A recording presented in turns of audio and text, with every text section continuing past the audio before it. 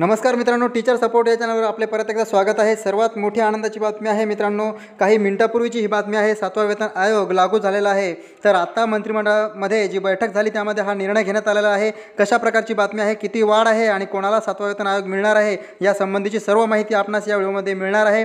तत्पूर्वी आपणास जर हा व्हिडिओ आवडला तर लाईक करायला कोणतीही कसर करू नका. त्याचबरोबर या चॅनलवर जर नवीन असाल तर व्हिडिओ खाली बघा.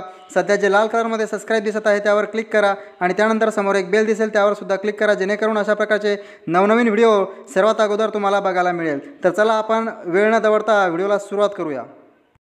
तर बघा मित्रांनो या अगोदरच्या व्हिडिओमध्ये मी सांगितलं होतं की गुरुवारी सत्तावीस डिसेंबर रोजी जी मंत्रिमंडळ बैठक होणार आहे त्यामध्ये निर्णय झालेला आहे.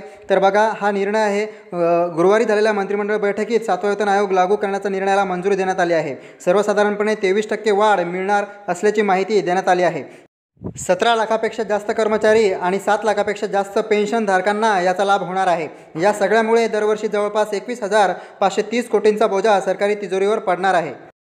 त्यानंतर बघा राज्य मंत्रिमंडळाकडून सरकारी कर्मचाऱ्यांना नववर्षाची भेट देण्यात आली आहे. राज्यातील सरकारी कर्मचाऱ्यांना सातवा वेतन आयोग देण्यास राज्य मंत्रिमंडळाने मंजुरी दिली आहे. त्यानुसार एक जानेवारीपासून सातवा वेतन आयोग लागू होणार आहे. नववर्षाच्या सुरुवातीलाच सरकारी सरकारने कर्मचाऱ्यांना ही भेट दिल्यानं सरकारी कर्मचाऱ्यांना अच्छे दिन आले असे म्हटलं तर वागो ठरणार नाही. मित्रांनो सातवा वेतन आयोग कोणाला लागू होणार आहे? सातवा वेतन आयोग लागू करण्यास मंजुरी मिळाल्याने याचा फायदा पंचवीस लाख कर्मचाऱ्यांना होणार आहे. त्यामध्ये शासकीय जिल्हा परिषद कर्मचारी सेवानिवृत्त अधिकारी कर्मचारी पोलीस शिक्षक आणि शिक्षकेतर कर्मचाऱ्यांचा समावेश आहे.